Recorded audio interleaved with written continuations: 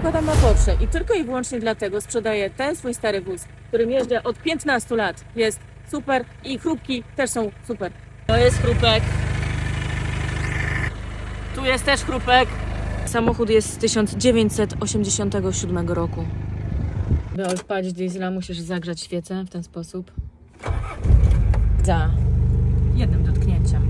Włączanie świateł, ściąganie ręcznego, włączanie radyjka, żeby coś zagrało, zaśpiewało. Dobra, wybieram numer jeden. Zbieranie dowodów policja wyjazd z matką. No, oczywiście napęd na cztery koła. Podkreśla policja. Tak, otwierasz maskę. Pewnie się zastanawialiście, co to jest za dziura. To jest specjalne chłodzenie zrobione przez okoliczne myszy.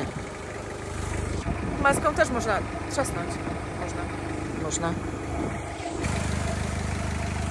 A jeśli widzimy i słyszymy, że silnik pracuje bardzo dobrze, żwawo i pięknie, to możemy zamknąć maskę. Jest też ogrzewanie, bo dzisiaj jest odrobinkę zimno. Tak otwierasz wlew paliwa.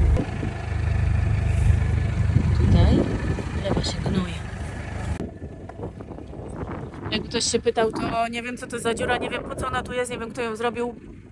Nie wiem jak ją zakleić, ale to szybka akcja jest z tym e, niebity. Nie, niebity. niebity. Mhm. Te reflektory przekręcałam sama. I tu jest taki piękny napis Pajero. A tu jest turbo. Tutaj jest pierdol... Ale to można posprzątać. I tutaj są części. Koło terenowe, opony w bardzo dobrym stanie. Koło zapasowe. Nigdy się nie przydało. To jest wersja krótka w gnoju. Wiedzie wszędzie. Diesel 2,5. Elo. I co więcej, można na nim się opalać. Na dachu.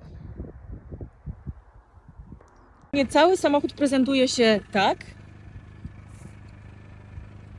Okazale jest piękny. Ja na nim jeździłam. Ja nim jeździłam, bo to nie motocykl. Nim jeździłam z 15 lat. To kawał historii i całkiem niezłych przygód. I stanę na dachu, aby ten samochód sprzedać. Stoję na dachu, więc brakuje mi trochę pieniędzy. Myślałam, że stanę na dachu. a Później pomyślałam, że stanę na głowie i na dachu. Bo zależy mi na tym, żeby sprzedać tego Pajero, bo chcę kupić Porsche. Woo! Można trzaskać drzwiami. Ale serio, chciałabym już kupić starego kabrioleta, bo samochodów terenowych mam dwa stare, a kabrioleta nie miałam nigdy. Także polecanko, więcej szczegółów ocenie w Diamant.